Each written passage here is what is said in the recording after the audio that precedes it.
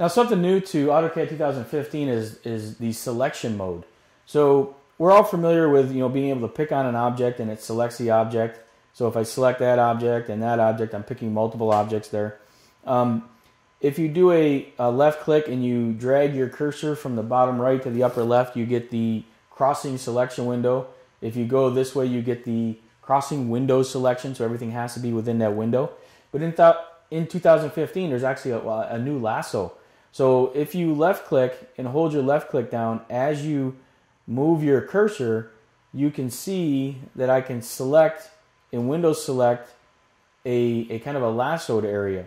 So it only selects what's within that window because I'm going kind of around counterclockwise. If I left click and I go clockwise in a clockwise motion, you can see that I'm able to pick up and do a lasso around objects and those that are crossing will get picked up and selected.